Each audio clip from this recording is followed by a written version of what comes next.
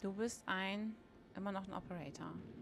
Du bist der Medizin-Operator. Ach ja, wir brauchen aber keine Medizin. Wir bräuchten eher was anderes. Cory Richard mit Schrot. Sehr gut. Und einer Pistole.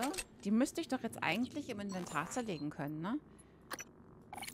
Zerlegen. Oh, ist das gut. Ich muss nur aufpassen, dass ich nicht versehentlich meine Sachen zerlege. Das haben wir gelesen. Noch mehr 9 mm.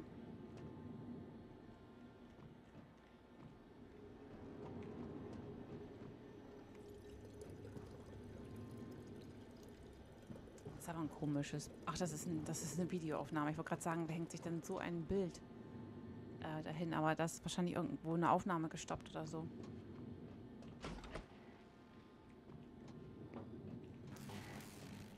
So. Oh Gott, oh Gott, oh Gott.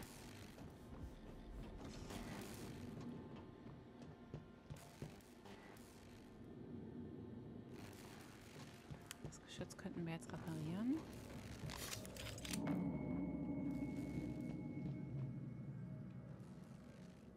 Das sind aber nicht... Ap Apropos Geschütz. Das ist defekt.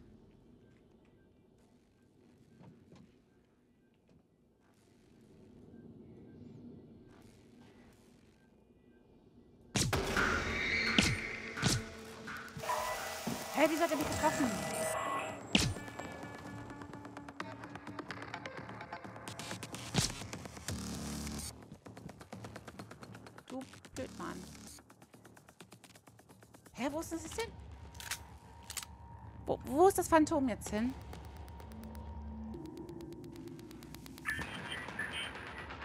Es ist ein schlaues Phantom. Es nimmt die Treppe. Wenn es schlau wäre, würde es einen Fahrstuhl nehmen, sagen wir es mal so.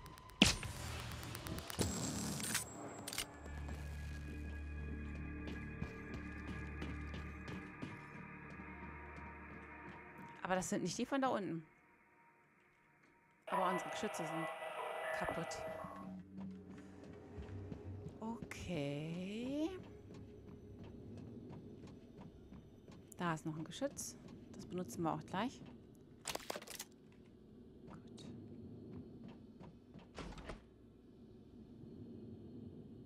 Das ist der Wissenschaftsoperator. Da sind die Labs. Und hier ist nur eine Mimi, Mimi, Mimi, Mimi, Mimi, Mimi, Mimi drin. Und das war... Was ist sie? Eine Tasse? Nekropsie wäre das auch was. Das würde uns, glaube ich, immer nur noch ein Typhon-Organ äh, mehr geben. Ich weiß nicht, ob das... Ich, äh, auf Dauer wäre die Ausbeute natürlich größer, aber ob das dann so viel bringt, keine Ahnung. Das können wir gar nicht einsehen. Mitsuko Tokaji. Haben wir da eine Mimik drin? Da ist ein Transcribe auf jeden Fall.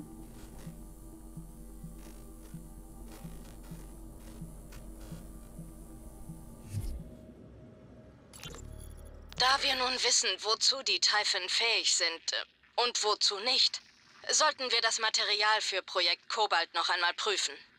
Igwe? Neuromods können Typhon-Material ans menschliche Gehirn anpassen. Prinzipiell sollte es auch umgekehrt funktionieren. Setzen wir also einem Typhon menschliche Neuronen ein. Wie erkennen wir, dass wir Erfolg hatten? Die neue Neuralstruktur müsste in einer Reihe von tatsächlichen Erfahrungen reifen. Oder simulierten. Was? Die Erfahrungen simulieren. Calvino, er hat... Tja, höchst faszinierend, aber konzentrieren wir uns lieber auf das, was funktioniert.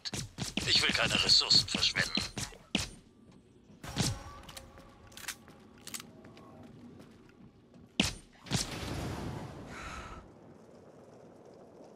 Ich dachte, was ist hinter mir los, während ich mir das Dings anhöre? Das war gerade interessant, weil wir alle über was Wichtiges gesprochen haben. Unter anderem auch Alex und ich. Und da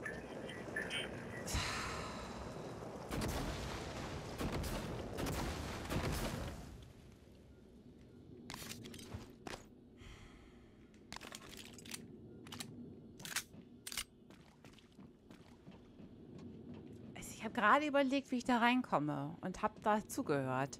Das kann sein, dass wir das vielleicht nur mit einer Fähigkeit, die wir nicht bekommen können, oder? Weil ich sehe jetzt hier gerade keine andere Möglichkeit. Aber das heißt vielleicht auch, dass ich nicht... Haben wir hier vielleicht einen Außenzugang oder sowas? Warte mal, wenn ich jetzt hier auf die Karte gucke und direkt davor stehe vor dem... So, die Map sagt...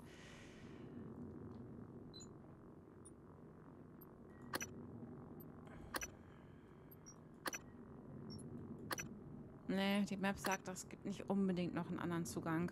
Ah, aber hier die Mimi ist... Äh, die Mimi... die Mimik ist auf der Karte verzeichnet. Schön.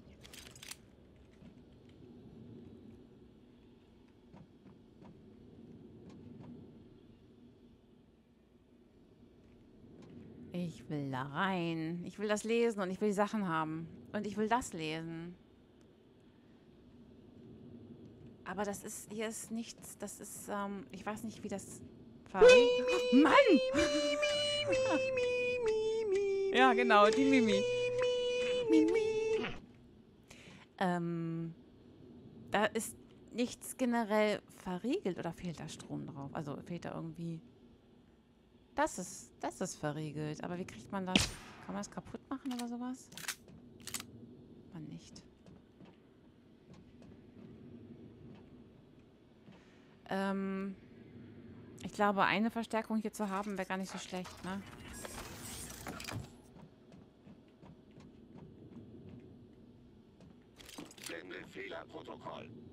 So, ich stelle dich mal hier hin.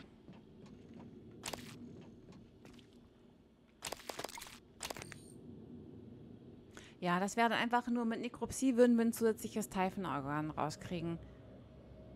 Brauchen wir aber nicht wirklich, sage ich jetzt einfach mal so. Kann auch sein, dass ich mich irre. Erstmal eben gucken. Sieht sauber aus.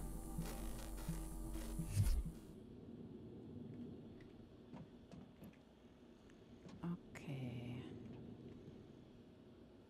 Da ist sonst nichts weiter. E-Mails. Äh, Statusbericht 37 von Mitsuko Tokachi an Helen Barker Combs. Helen, V01065537 hat in den letzten 24 Stunden weitere Symptome von Instabilität gezeigt. Proband drückte morbide Neugier gegenüber kleinen Objekten nutritiver und nicht nutritiver Natur in seiner Umgebung aus und versuchte sie in den Mund zu nehmen und zu verzehren. Erste Diagnosen deuten auf Rempikazismus hin. Hierzu gab es jedoch vor dem Experiment mit dem Telepathen keinerlei Anzeichen. Wir schließen mögliche Suizidversuche nicht aus, obgleich das Testsubjekt sich nicht bemüht, sein Verhalten zu verheimlichen. Ich werde als nächstes eine endoskopische Untersuchung vornehmen, um sicherzugehen, dass nichts in der Speiseröhre oder den Eingeweiden feststeckt. Mitsuko. Re Neues zur Beobachtung von Christopher Smith an Helen Barker Combs in Kopie Mitsuko Tokachi. Verflext nur mal kurz rausgegangen und schon ein Mimi verpasst. Mehrere Mimis. Ja, weil, nein, aber nicht, ich habe ich gemerkt, aber ich nicht, weil ich gemeckert habe. Ich habe nicht gemeckert. Ähm, neueste Beobachtung von 37 wegen Selbstmordgefährdung von Dr. Helen Barker Combs. 37 ist weiterhin wegen Selbstmordgefährdung unter Beobachtung. Wie angeordnet wurden dem Gefangenen keine Beruhigungsmittel verabreicht, um sein System für die anstehende OP nicht zu belasten. Ebenso keine Nahrung, ausschließlich Wasser. Er ist passiv und schwankt lediglich vor und zurück, starrt auf einen leeren Punkt an der Wand und murmelt leise auf Russisch. Ich verstehe nicht, was er sagt. Soweit wir beobachten konnten, hat er bislang keine Versuche unternommen, sich etwas anzutun. Dieser Volontär scheint nicht suizidgefährdet zu sein, vielmehr desorientiert in einer Art von Schlaftrunkenheit. Sicherheitsoffizier Smith. Die haben mit richtigen Gefangenen Experimente gemacht, ne?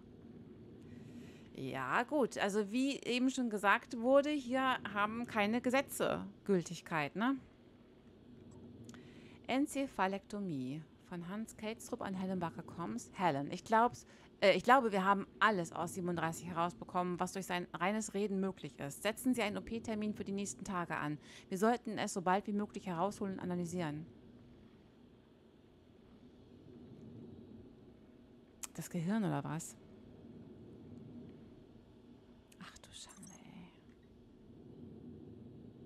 Ach du Schande. Will man an sowas teilhaben? Oh, Munition. Typhon-Mimese 3.3. Haben wir das schon? Auszug aus Labornotizen von Rory Mannion und Christine Lloyd. Könnte eine Erklärung bieten, wie Mimics hierher gekommen sind und wie zumindest... Mann, hallo. Sprachzentrum herunterfahren und neu starten bitte. Könnte eine Erklärung bieten, wie Mimics hierher gekommen sind und wie mindestens einer davon in Kletka so lange im Vakuum überleben konnte. Das ist die Station, die um, äh, beziehungsweise die, also um die Talos herumgebaut wurde, glaube ich, ne? Kletka. Sie können sich in eine angrenzende Dimensionsblase bewegen, wo die Zeit wesentlich langsamer vergeht und kommen dann bei einem entsprechenden Stimulus, etwa Beute, wieder zurück. Aus der Sicht der Mimics ist eine 6 Millionen Jahre dauernde Reise in unser Sonnensystem auf einem Eismeteor vielleicht schon nach wenigen Sekunden abgeschlossen. Diese Dinger sind die perfekten Falltürspinnen. Okay, das erklärt natürlich auch, warum sie dann kurz flackern, verschwinden und dann bei uns auftauchen, ne? Falltürspinnen. Ne? Schöner Vergleich, danke. Asteroidenfragment. Okay.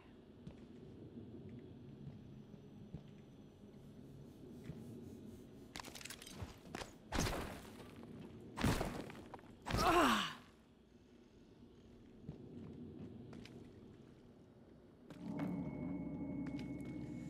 Gut, Geschütz ist noch ruhig. Die Tür lassen wir noch mal eben in Ruhe. Da haben wir noch ein Transcript von Rory Mannion. Das ist Rory Mannion. Ja.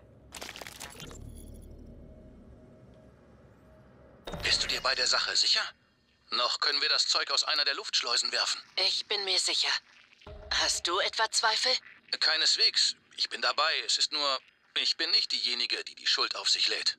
Es gibt so oder so kein Happy End für mich. Ich versuche nicht darüber nachzudenken. Tut mir leid. Hast du Vorkehrungen getroffen?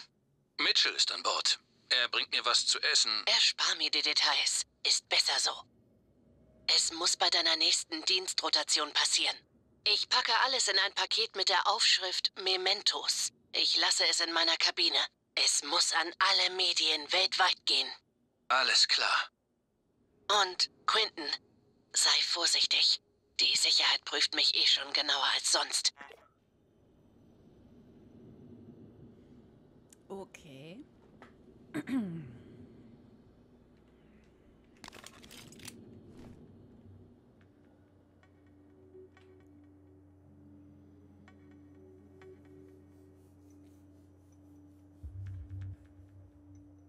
War Rory denn einer von der Sicherheit? Weil er hatte ja jetzt von, von der Galagus oder von, von dem Quinton das, ähm, das Transcribe in der Tasche. Das heißt, die sind denen auf die Schliche gekommen.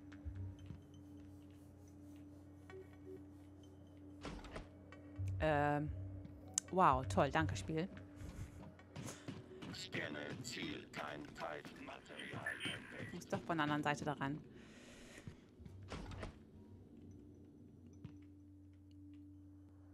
Hier leuchtet aber verdammt viel. Es bleibt dabei nur eine Mimik.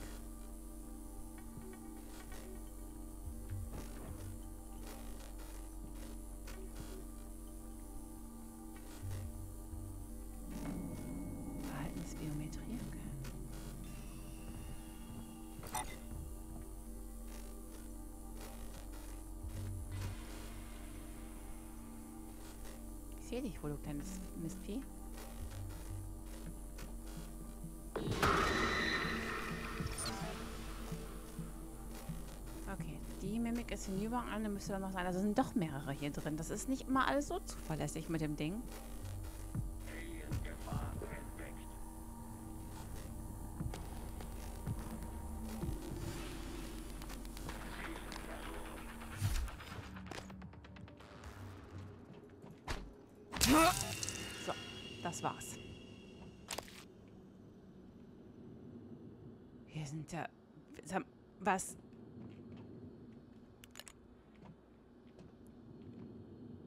Not a mimic. Not a mimic.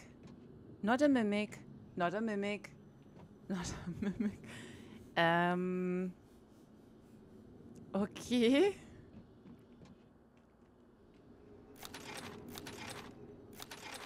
Ähm... Wer hat sich denn hier die ganzen Notizzettel gemacht? Notiz. Notiz. Ugh. Notiz, Notiz, Notiz, not a Mimic. Also überall steht drauf, keine Mimik, keine Mimik, keine Mimik. Selbst auf dem Typhon-Organ, okay.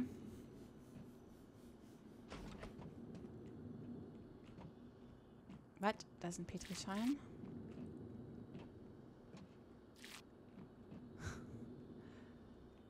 Das ist, ähm, ja, okay, bedenklich.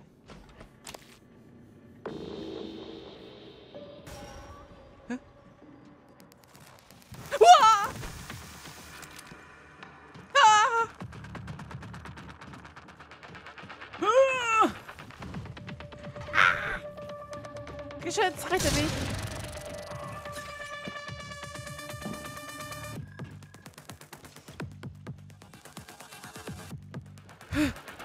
Shit!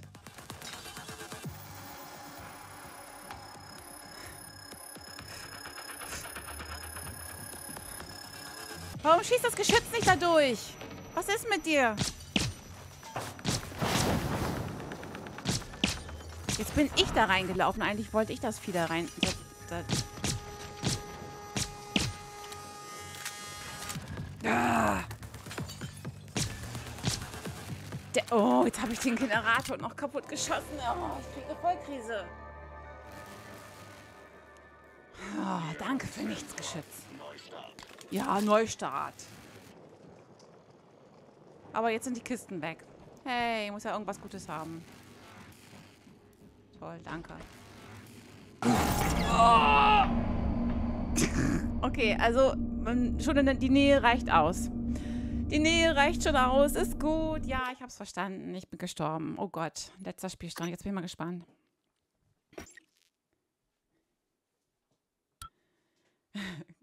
Grüezi, Servus und Hallo, Tobifo. Einen wunderschönen guten Abend wünsche ich dir. Drückerchen zurück. Ähm, ja. Oh, da wir nun wissen, wozu die Typhon fähig sind äh, und wozu nicht, sollten wir das Material für Projekt Kobalt noch einmal prüfen. Igwe? Neuromods können Typhon-Material ans menschliche Gehirn anpassen. Prinzipiell sollte es auch umgekehrt funktionieren. Setzen wir also einem Typhon menschliche Neuronen ein.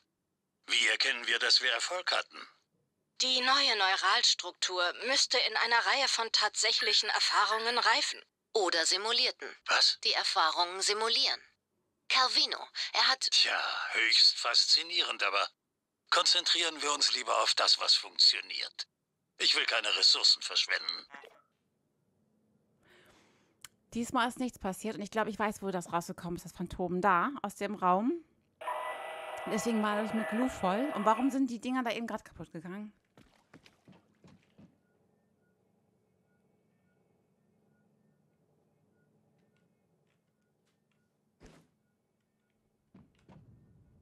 Muss das Geschütz anders aufstellen, ne? Wenn ich das leise mache, müsste das funktionieren.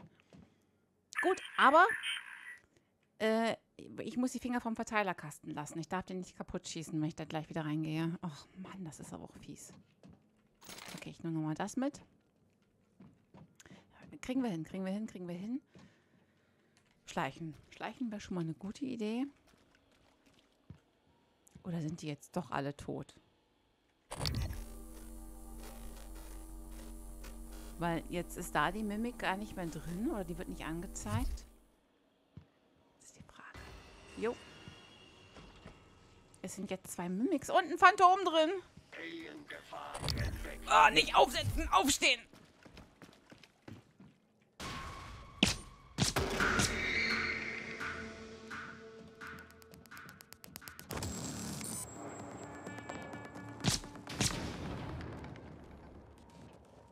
Lauf da ruhig rein ins Feuer. Gute Idee. Oh, hat er sich... Ich glaube, das Phantom hat sich gerade selbst zerlegt. Ja, hat es.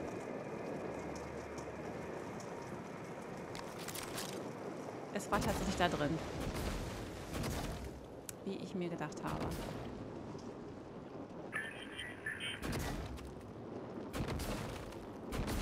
Kann ich da so... Da kann ich gar nicht durch. Mist, Mist, Mist, Mist, Mist. Kann ich da durch crouchen? Das entzündet immer wieder neu, ne? Das ist ja richtig doof.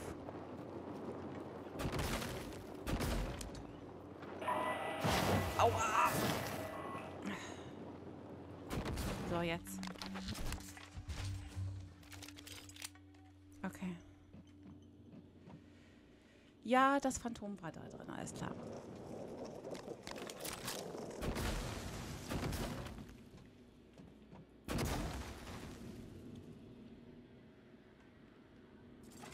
Scanne Ziel, kein Titanmaterial. Also das ist mir so ein Heldengeschütz, du.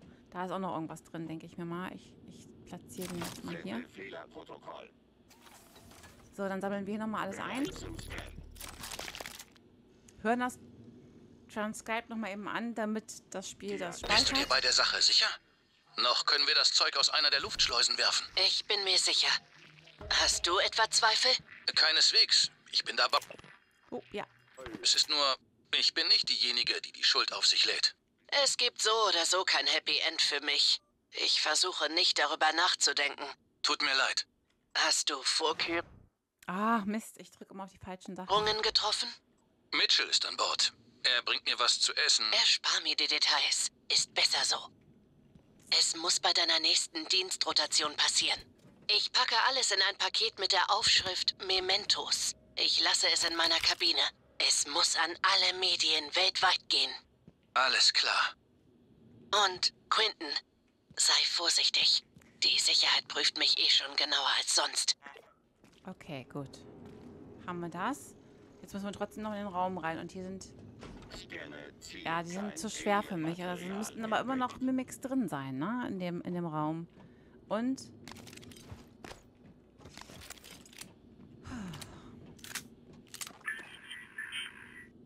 Ich repariere mal eben meinen Anzug. Äh, Reparatur, Reparatur, verwenden. So. Besser ist. Speichern nochmal ab.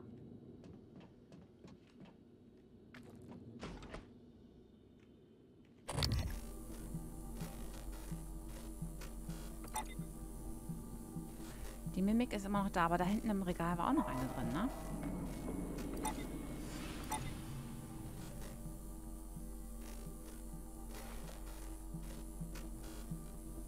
Ist eine. Da ist eine. Die rennt da lustig lang. Die ist hinüber. Sind jetzt nur noch zwei. Es sei denn, da tauchen noch mehr als auf.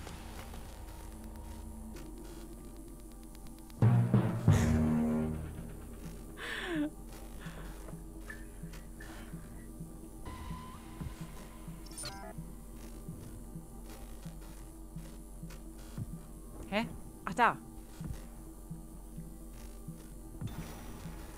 Moment, ich guck gleich.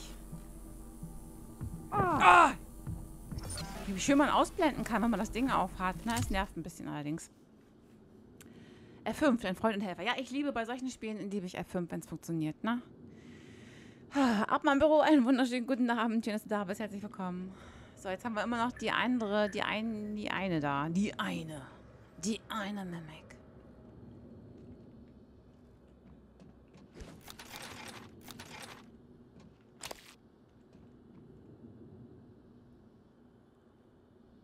Sie ist die eine, die immer lacht. Jetzt sitzt sie da aber ganz blöd dahinter, irgendwie da unten drunter. So, das war alles not a mimic, not a mimic. Das kann ich mitnehmen.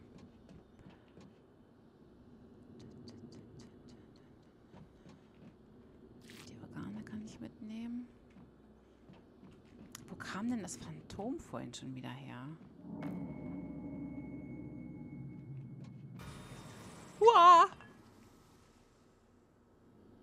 Okay, ist das sowas wie ein Aalgul?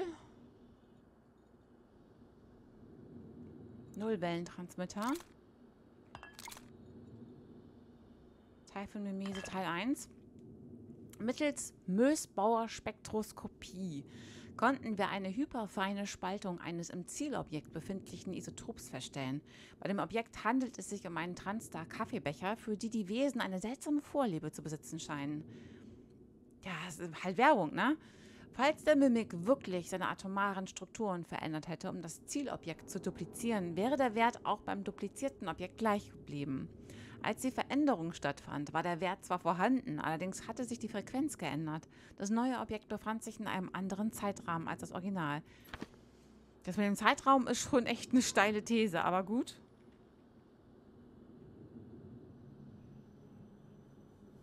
Hier darf man nicht essen und trinken? Wie blöd ist das denn? Okay, aber wo kam das Phantom her? Kam das hierher oder kam das nachher vom Flur?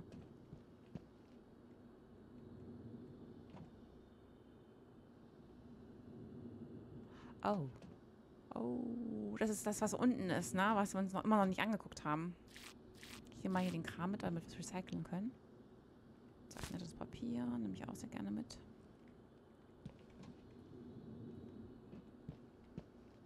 Da sind Bilder. Zack, nettes Papier.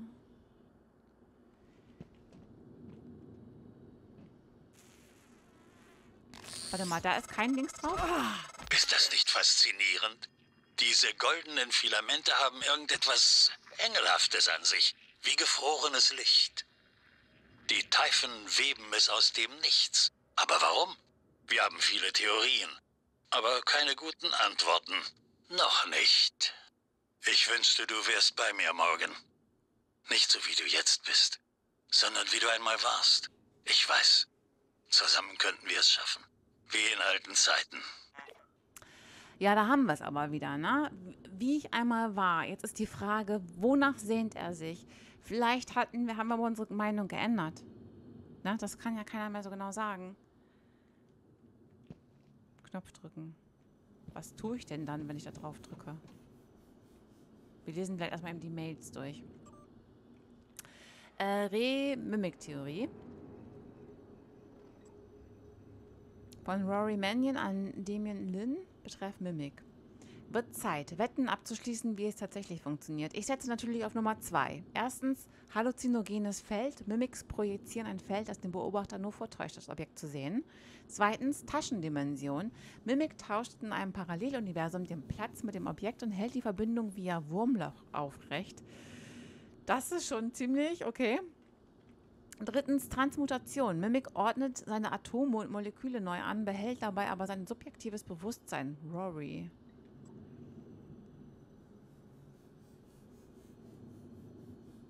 Aha. Und Damien schreibt an Rory, nach den letzten sechs Monaten tippe ich auf viertens Magie. Okay. Eroberer der Kuppel. Von Matthew Connolly an Rory Mannion. Eroberer der Kuppel 3. Pilgerreise zur Autarkie der Verdammten. Kam mit meiner letzten Sendung. Sag Bescheid, wenn du es herunterladen möchtest. Die Höhlen sind alle von Hand gemacht. Uh. Okay. Wer war dieser Kerl? Von Annalise Gallegos an Rory Mannion. Kommt dir der Name Lanzetta bekannt vor? Dr. Gas Lanzetta? Ob du es glaubst oder nicht, er hat einmal eine Woche lang bei uns gearbeitet. Eine Woche lang. Die Woche, bevor dem kompletten Wissenschaftspersonal die Neuromods aus dem letzten Quartal entfernt wurden. Er hat seinen Ausweis in einem Spind gelassen. Ich habe die IT gebeten, sich einmal sein Konto anzusehen. Bis auf seine Anmeldedaten wurden alle Inhalte gelöscht. Wer zur Hölle war der Kerl? Die Woche, bevor dem kompletten Wissenschaftspersonal die Neuromods aus dem letzten Quartal entfernt wurden. Das heißt, die kriegen zwischendurch, haben die neue Fähigkeiten verpasst bekommen durch die Neuromods, die sind, um vielleicht irgendwelche Experimente durchzuführen. Und dann war das vielleicht nicht aussagekräftig oder es war irrelevant oder es ist nichts passiert, es kam nichts Befriedigendes heraus und dann haben sie den die wieder entfernt.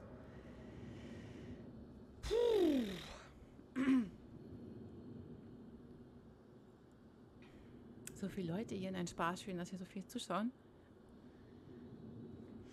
Okay, mitten in der Woche. Hey, ist es Anfang der Woche? Einfach flach atmen, okay.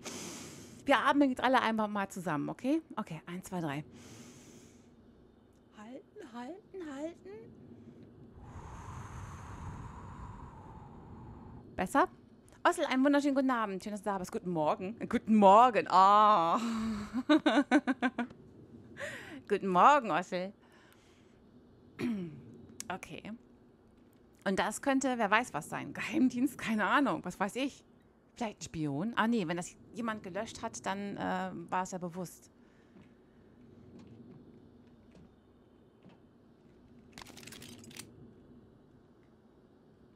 Ja, drücken wir mal Knöpfe, oder? Dann geht hier irgendwas auf.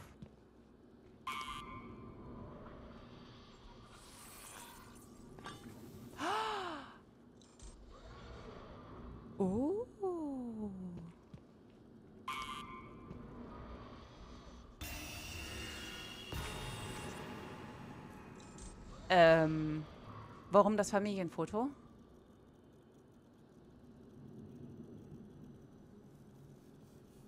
Die können nur Sachen, die können nur Sachen imitieren, mit denen sie in Berührung gekommen sind, richtig? Äh, müssen sie eigentlich. So ist es ja auch mit den, mit den, obwohl das sind die kleinen Mimics. Nee, die können nur Sachen, in- mit denen sie. Was heißt das dann? Dass dieses Ding bei mir im Büro war?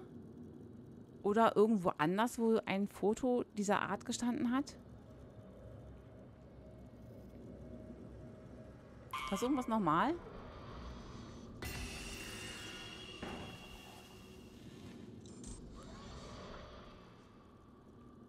Okay.